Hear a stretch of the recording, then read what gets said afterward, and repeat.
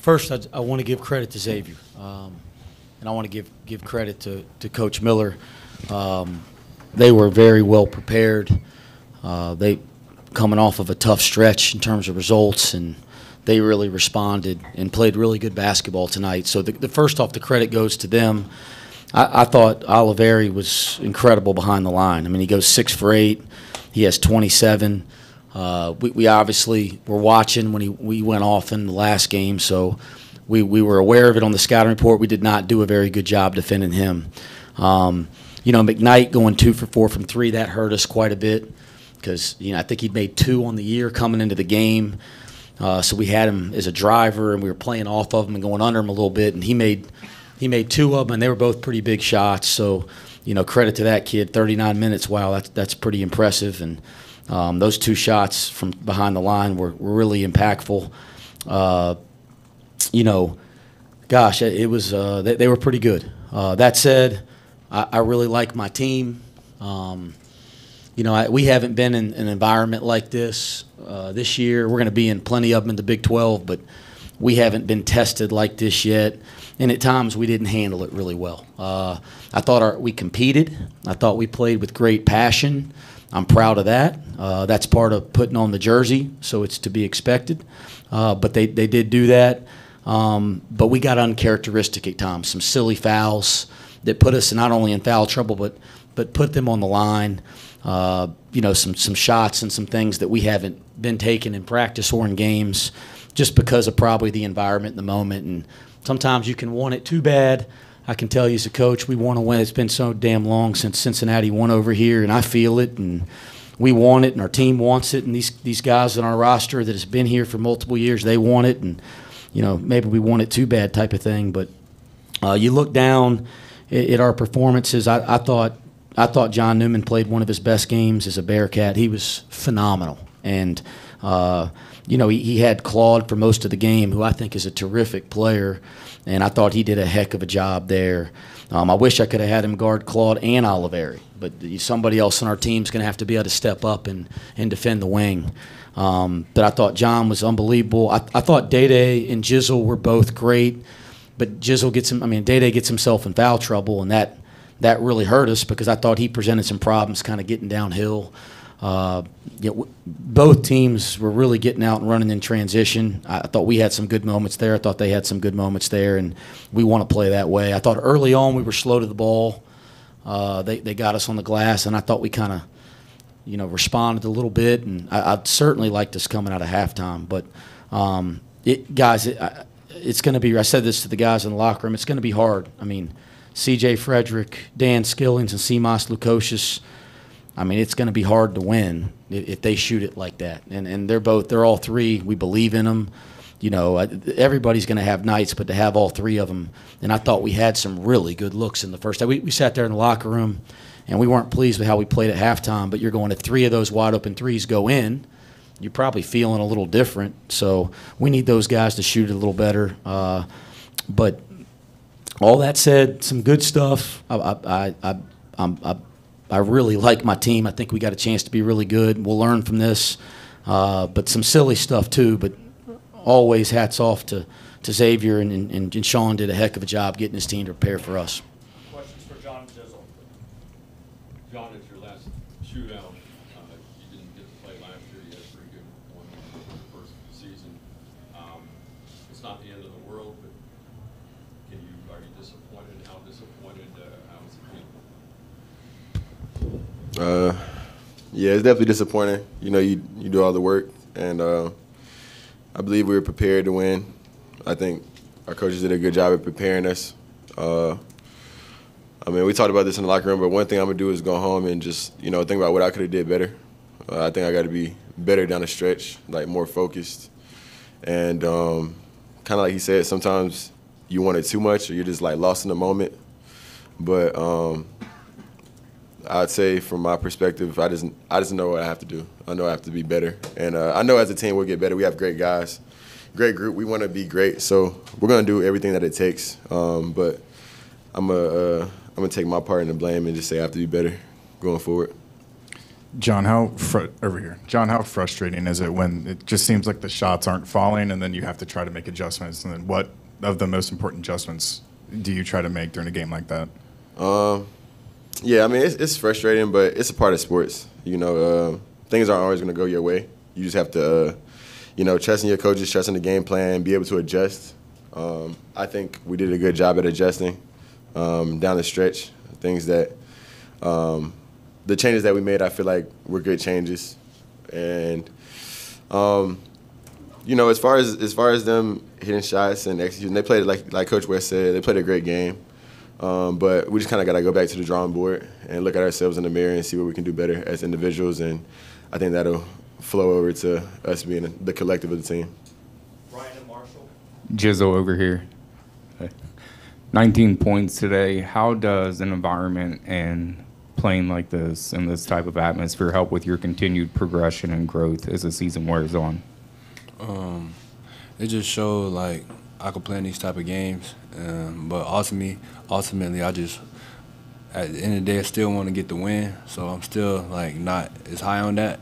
So it's all about really getting the win and like doing whatever the team need me to do. So I don't really think about how much points I'm getting or something. I just play the game, and if my opportunity comes, it comes. And it came tonight, and I was able to make some plays, but we didn't get the job done. So it's still like more work to do and just ways to go. Jizzle, kind of bouncing off of that, being a freshman coming into this game and being able to excel early on, what was it that made you prepare to be able to play to your highest potential in a game in an environment like this?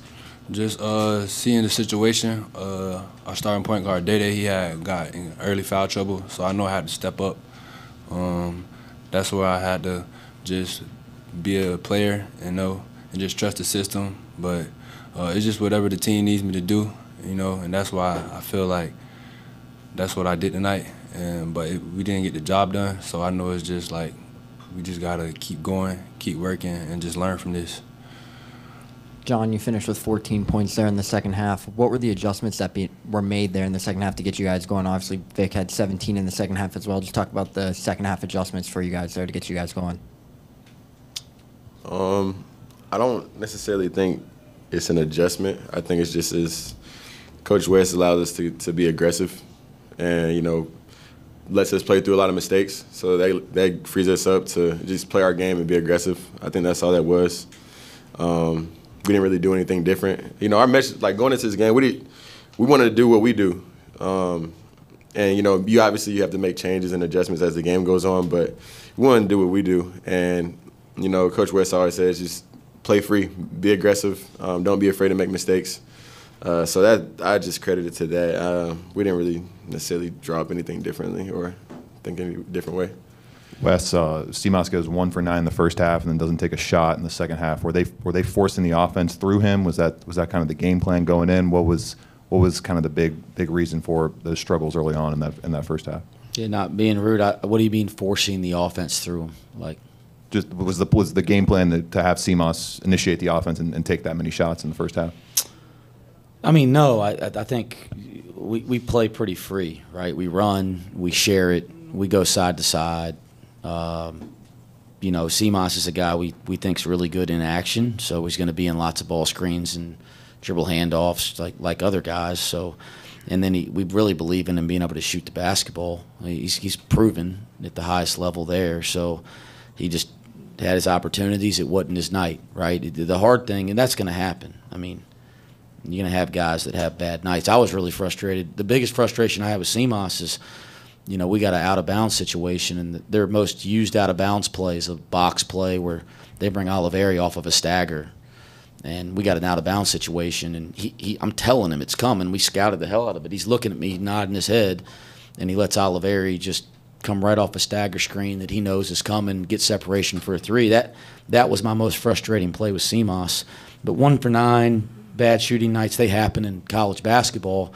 The problem is you have that with Dan and CJ Fredrick at the same time, and it's the, the combination. We need we need those three guys to be players, and they're all capable, and they all kind of had a night like that tonight. But hey, listen, give Xavier credit. I mean, they, they played with energy, and no, they, they really made it difficult for CJ. We're trying to do more to get him involved offensively. They were on top of him. Uh, you know, not basically top blocking him to everything. And we made a little adjustment out of a timeout and ran a play for him to screen and got Odie a dunk. But we, we, we need to have more stuff to take advantage of people guarding him like that. And as John said, I mean, I, as a coach, I'm going to look in the mirror and I got a lot of things I got to improve on.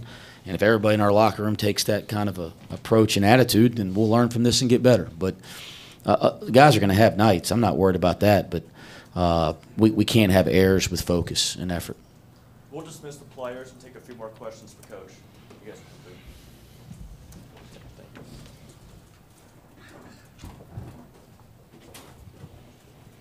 can move. Coach, the, the primary thing that's, you know, going to be said outside of the building among the fan bases, and right, right here, sorry, uh, is that this is the fifth straight time that Xavier's won in this rivalry. Do you feel any of that weight building, or, or do you just see this as a one game type of thing that, that you didn't get the best of them? I mean, you know, it's a rivalry game. It's local. 0 and 2 coming into it. And as I'm coaching here, heck, hell yeah, you want to win it. I mean, I, you know, like that's not rocket science. Like did, some people, times you go to coach speak. I mean, heck yeah, you want to win it. Does it mean that it turns into something that it's not? No. I mean, you want to win a game. You know, you, you're 0 2 in it. You want to win it. We will win one. I mean, we will. I mean, I, I, it'll happen. Uh, but because you lose it, are you going to sit here and go down in the dumps or feel some external pressure that? No, I, that's not how it works. I mean, well, whether we won tonight or not, we're going to wake our butts up tomorrow, and we're going to work hard and get better. And we're going to have a lot of big games this year. You know, I, uh, and I'm not not doing the comparison thing, but uh, Xavier probably feels pretty damn good tonight. I bet they didn't feel good the last couple nights they played. Right? It's, that's college basketball. Like, but they they had a tough stretch. They've learned from it. They played great tonight. They they, they get a win in the big environment. It's going to be the same for everybody in college. But the last time I checked, it was 1976 that somebody went undefeated. You're going to take it on the chin. I mean, I, you know, you're going to take it on the chin. This is big time. There's parity. Everybody can coach. Great players. I hate that we took it on the chin tonight.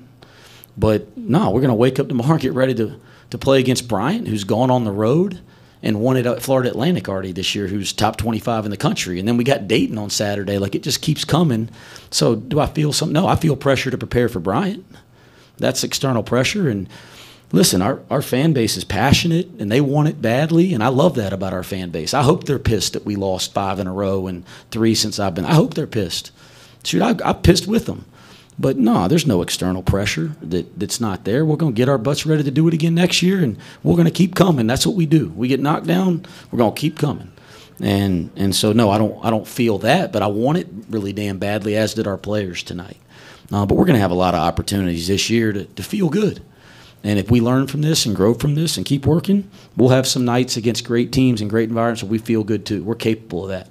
But I like this team, and I, I think our fan base that's been watching us play for the last couple years is going to get excited about this team because the way they play, the way they compete, the talent. I think they can see that. The question is, what are we going to do with it? And and I think we got a good group of kids in that locker room and high character. And I, this team's going to be okay. I really believe that. Wes, Wes, how encouraged were you by outscoring them 50 to 32 in the paint and coming out of halftime the way you did to get back in the game? guys, I'm pissed. Are there some things I was as, I walked off the court? I said the first thing I said to them, I like my team a lot, and I'm gonna get in the trenches with every team I coach. I like this team. I really do. I like the character of this team. I like the way this team works. I'm sorry to all our fans that we couldn't get over the hump tonight. It's been 20 some years, I think, since Cincinnati won over here. I want, I want to, I want to get over the hump there for a lot of reasons. But I like my team a lot. We'll learn from this.